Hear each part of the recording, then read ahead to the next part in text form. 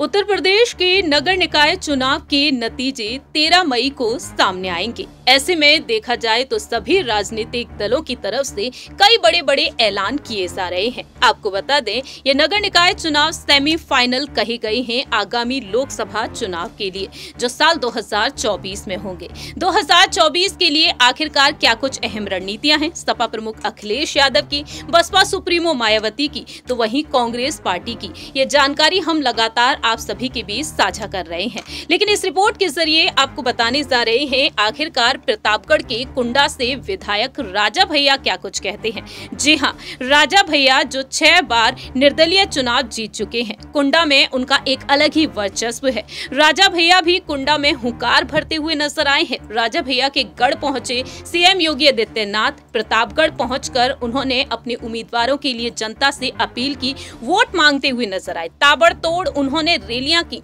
वहीं दूसरी ही तरफ़ राजा भैया भी पीछे नहीं रहे। दरअसल आपको बता दें कि सपा प्रमुख अखिलेश यादव स्टार प्रचारक के तौर पर मैदान में उतरे। नेताजी के चले जाने के बाद उन्होंने अपनी रणनीतियों में बदलाव कर लिए हैं। ऐसे में यूपी निकाय चुनाव को लेकर राजा भैया ने डंकी की चोट पर अपने इंटरव्यू में तमाम बातें रखी।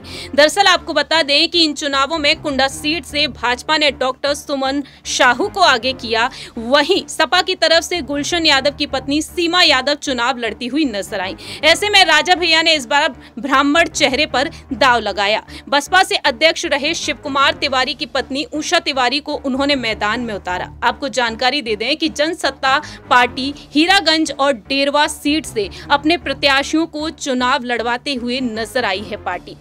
ऐसे में राजा भैया ने अपनी तैयारियों को लेकर भी खुलासा किया। राजा भैया ने अपने इंटरव्यू में साफ़ तौर पर अपनी बातें रखी। अभी तक की राजनीतिक सफ़र में हमें काफ़ी ज़्यादा अनुभवी साथी मिले, जिसके चलते आने वाले निकाय चुनाव में डेरवा, हीरागंज और कुंडा सीट से हमारे तीन प्रत्याशी मैदान में उतारे गए। उनका कहना साफ़ तौर पर रहा कि ज़्यादा अनुभवी और भरोसेमंद है। जनता के द्वारा हमारे तीन प्रत्याशियों को भरपूर प्यार मिला, इसलिए हमें पूरी उम्मीद है कि निकाय चुनाव में जनसत्ता दल के प्रत्याशी ही जीतेंगे। राजा भैया से सवाल पूछा गया, विधानसभा चुनाव में सपा के ही प्रत्याशी गुलशन यादव ने उन्हें कड़ी चुनौती दी थी।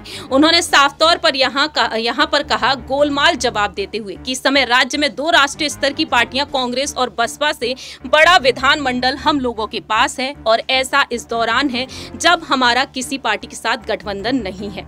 राजा भैया डंके की चोट पर अपनी बात करते हुए नज़र आए। उनका साफ़ तौर पर कहना रहा, यहाँ पर पार्टी मुकाबले को लेकर यूपी विधानसभा चुनाव में जिस तरह से मतों का ध्रुवीकरण देखने को मिला था, ऐसा ध्रुवीकरण कभी नहीं देखा गया था। तो बीजेपी को चुनौती देने के लिए राजा भैया भी अपनी सीट से आगे हैं। ऐसे में देखा गया कि राजा भैया ने साफ़ तौर पर डंके की चोट पर अपनी बात रखी और उनकी आगे की रणनीति है कि पार्टी को किस तरीके से आगे ले जाना है। उनका साफ़ तौर पर कहना रहा, किसी बड़ी पार्टी से नाराज़ होकर अपने दल का निर्माण कर लेते हैं या फिर एक प्रत्याशी क्षेत्र या जाति के आधार पर वोट इकट्ठा करके अन्य पार्टियों को खुद को खुद को शामिल करने के लिए बोलता है। लेकिन हमारे साथ ये दोनों ही चीज़ें नहीं हैं।